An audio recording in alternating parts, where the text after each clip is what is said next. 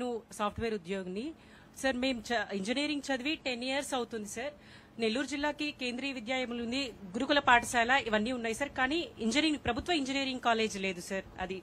అంటే అది పెట్టడం వల్ల చాలా మంది పేద పిల్లలకి ఉపయోగపడుతుంది. పది సంవత్సరాలు గడుస్తున్నా కానీ గవర్నమెంట్ ఇంజనీరింగ్ కాలేజ్ అనేది ఇంతవరకు ఎక్కడ జిల్లాలోనే లేదు సార్. అది ఐటీ రంగం ఇంత డెవలప్ జరుగుతున్నా కానీ గవర్నమెంట్ కాలేజ్ లేదనేది ఒక సమస్య.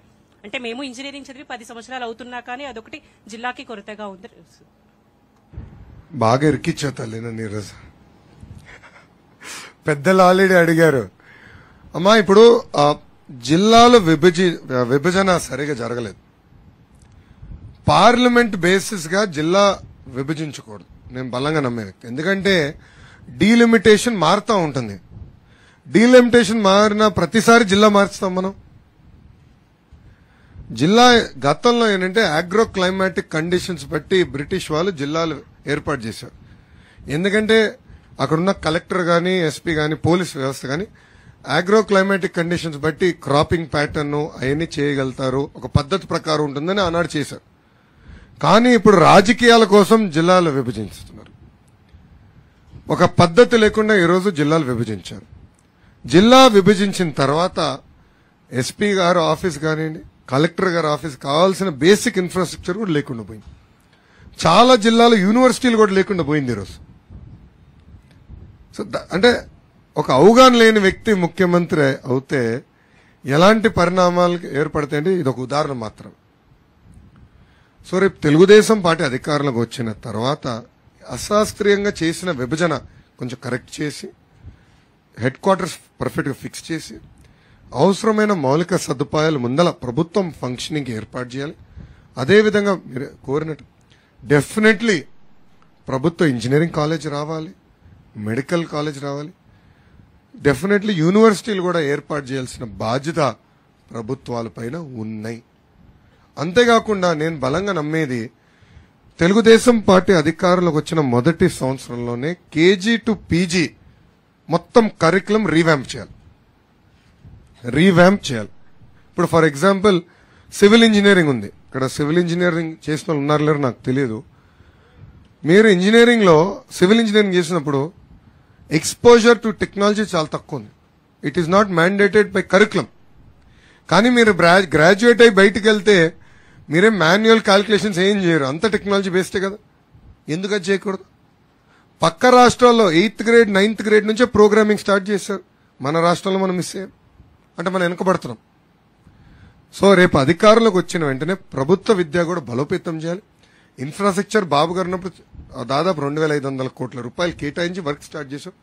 ఇప్పుడు మన ముఖ్యమంత్రి గారు వెళ్ళి బోర్డు పైన రాయబోయారు. అదంతా చేసింది చంద్రబాబు నాయుడు గారు. స్మార్ట్ క్లాస్ రూమ్స్ ఆనాడు తీసుకొచ్చారు. మెరుగైన విద్య అందించాలి. టీచర్స్ కూడా రిక్రూట్మెంట్ చేయాలి. చాలా వేకెన్సీస్ ఉన్నాయి. టీచర్ రిక్రూట్మెంట్ని చేయాలి. ప్రభుత్వ విద్యని బలోపేతం చేయాలి. ఇటు పక్కన కరికులం కూడా రీవ్యాంప్ చేస్తే ఆటోమేటిక్గా పరిశ్రమలు ఆంధ్ర రాష్ట్రానికి మనకు రావద్దనే వస్తాయి. అలాంటి మొత్తం ఎకో సిస్టమ్ ఏర్పాటు చేసే బాధ్యత మేము తీసుకుంటాం. థ్యాంక్ యూ సార్ నా పేరు Ramakrishna Chowdary sir.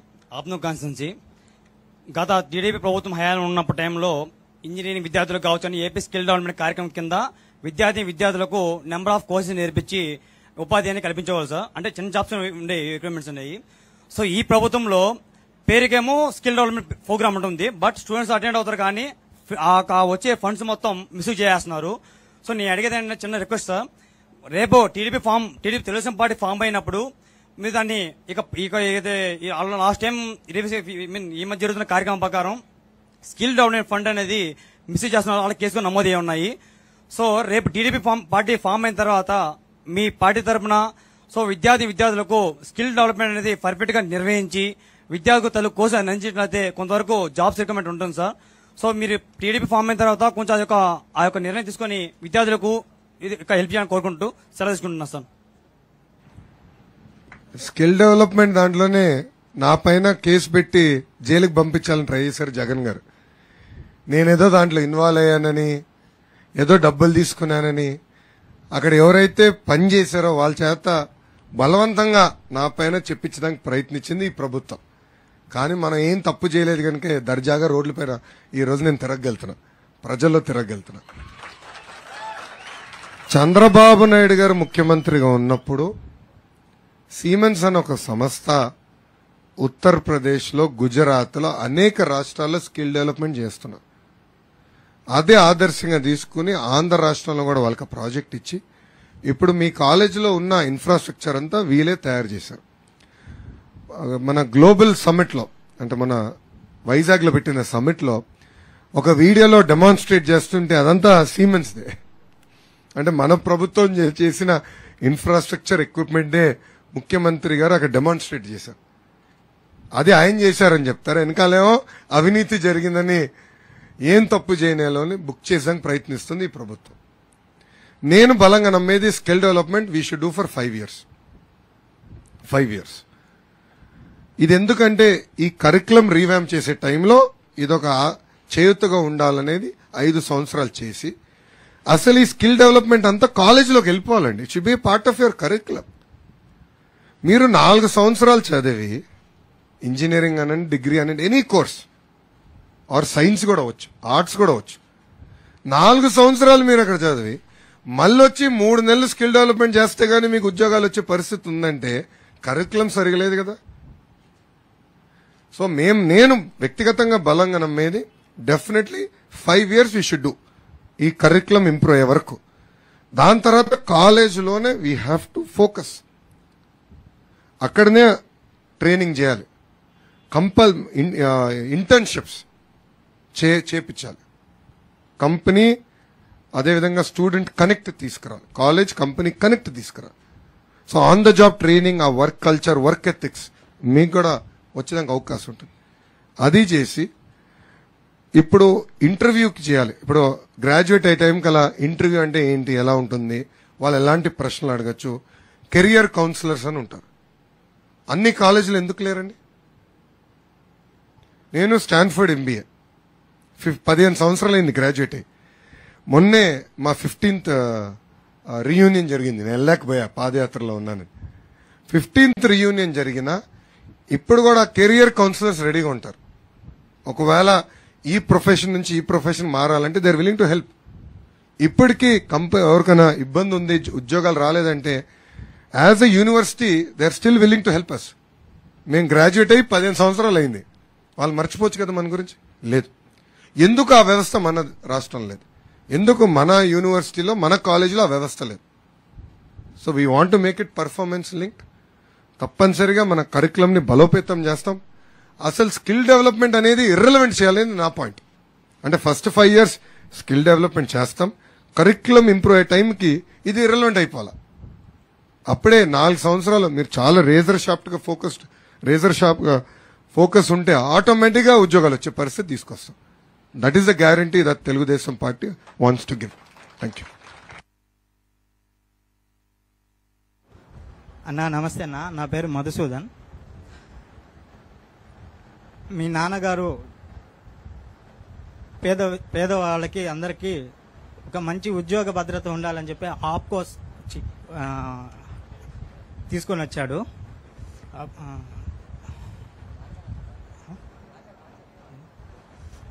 Out sourcing అనే పద్ధతిని తీసుకొని వచ్చాడు. అది ఇప్పుడు ఏదో ఆప్కోస్ లాగా మార్చి నెలకి నెలకి జీతం వేస్తానని చెప్పి నెల కాదు రెండు నెలలు కాదు ఒకటో తేదీ కాదు మూడు నెలలకు కూడా జీతాలు పడే పరిస్థితి లేదన్నా. ప్లస్ ఆ- ఉద్యోగాలు వాళ్ళకు ఉంటాయో ఊడతాయో కూడా తెలియని పరిస్థితిలో వాళ్ళు ఉన్నారు.